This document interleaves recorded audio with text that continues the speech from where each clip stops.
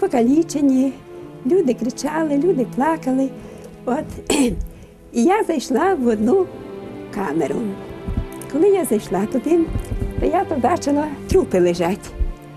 І прибігла мама одна і знайшла там свою дочку і каже: Доню, за що ж вони тебе вбили? За той буханець хліба. Десь, можливо, працювала на хлібозаводі і вкрала там той буханець хліба. Хліб святий. Так повчали своїх дітей люди, яких історики означили поколінням війни.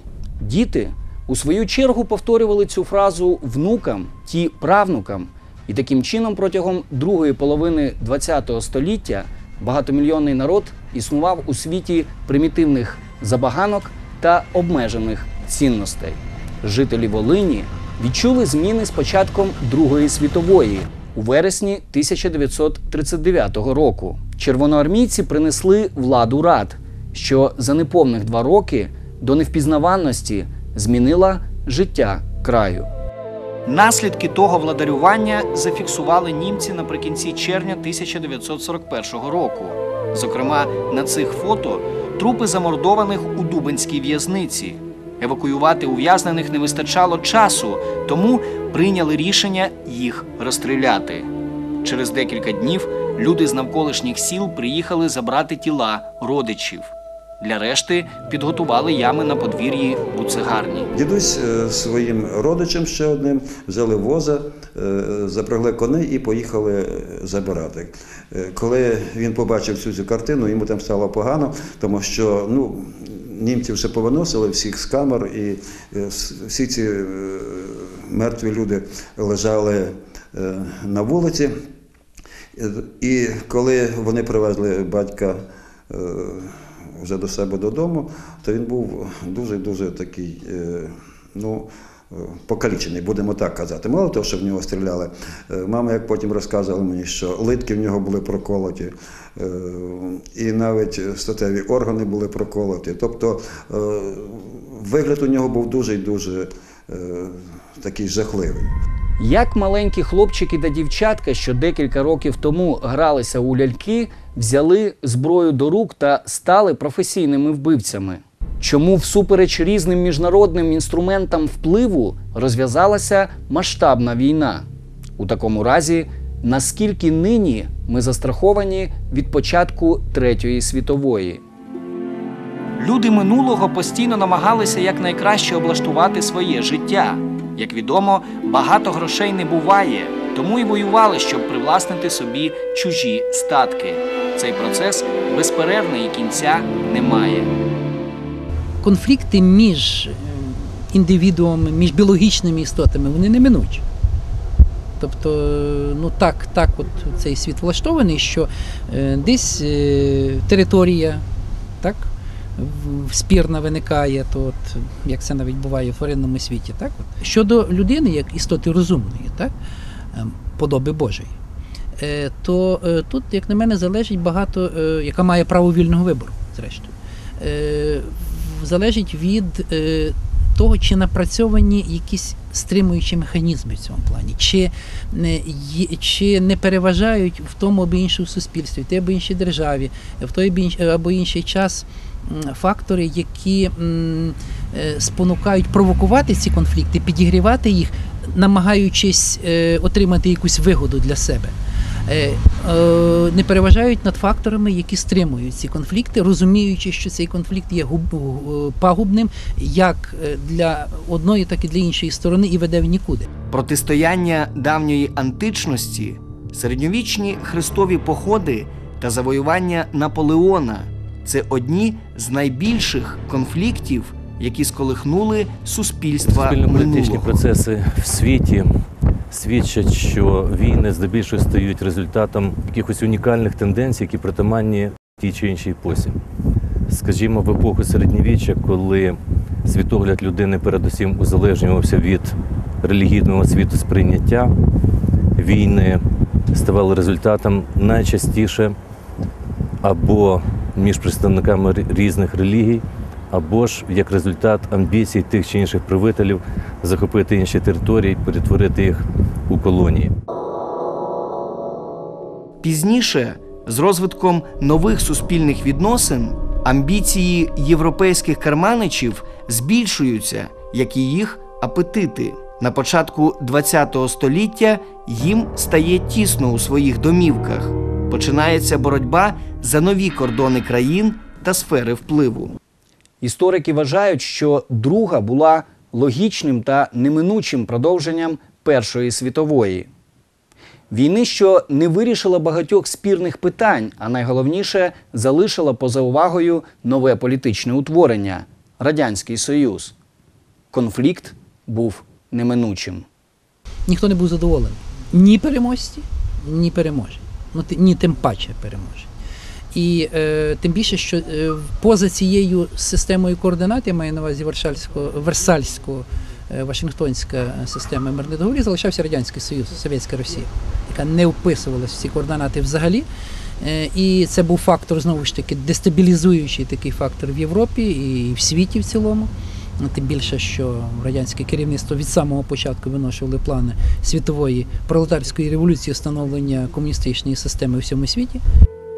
У вересні 1939 року на перон Рівненського залізничного вокзалу прибув потяг із Варшави. Польський суддя, який вирішив рятуватися від фашистів, що захопили столицю, одразу потрапив до рук червоноармійців. Він ще не знав, що на сході влада вже також змінилася. Служителя Феміди доставили до в'язниці і трохи згодом продемонстрували йому всю гуманність радянського суду. Вирок був дуже оригінальний, оскільки він працював суддею в Варшаві, тобто Варшава взагалі не контролювалася на той час Радянським Союзом і не належала до території Радянського Союзу, то його, його просто засудили як суддю, що нібито приймав несправедливі вироки стосовно робітників. Таких рішень було безліч. У довоєнний період влади комуністів у цих застінках побували декілька тисяч людей. Здебільшого це були учасники підпільних організацій або просто представники інтелігенції. Іноді арештовували зовсім аполітичних осіб. У 40-му році е, за підозрою саме в такому злочині було заарештовано органіста Рівненського костелу, який, в принципі, е, на допиті зізнався. Хоча ми знаємо, як в той час допитували людей, тобто піддавали дос- досить таки жорстоким тортурам, що дійсно він е, має відношення до польської нелегальної організації у Рівному. І е, що він якби намагається продовжити боротьбу за створення польської незалежної держави. Ще один найпопулярніший вирок тоді непокора владі. Певна частина засуджених відбувала покарання тут, зокрема і в Дубенській в'язниці. Інших відправляли на далекий схід. В цей період за непокору вивезли дуже багато сімей, особливо з Рівненської області. Це особливо наголосити треба, що от якраз з Рівненської області казали, що Галичина, в этот, а вийшло, що от тут саме більше з України, тобто з е, Рівненської області е, понад мільйон людей. Фільтрація неугодних тривала до початку війни. Оскільки Сталін планував напад, інфраструктуру західних областей не підготували належним чином до евакуації.